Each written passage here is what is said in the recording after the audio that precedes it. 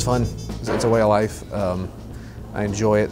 Uh, one of the things that I didn't, when I first started doing it, I didn't know I'd be doing it for as long as I have, but I knew I really enjoyed it and had fun doing it. Um,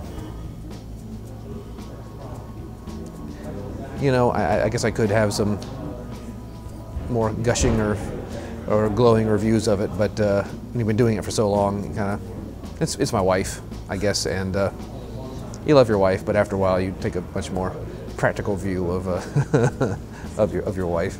Yeah, uh, I was supposed to get a scholarship in college, or for college in high school, and um, there was a, uh, a mix-up with my uh, with my uh, with my requirements uh, for for college for a scholarship, and uh, my guidance counselor just made the error in high school, and when we complained about it, I mean, it was not a small amount of money.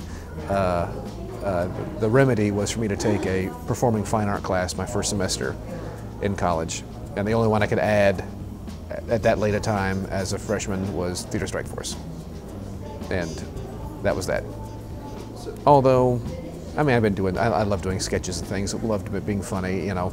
In a way, it was kind of the thing that, like, oh boy, how terrible is that? I have to take this class that, you know, I never would have thought they offered. Uh, so it was kind of, we found each other.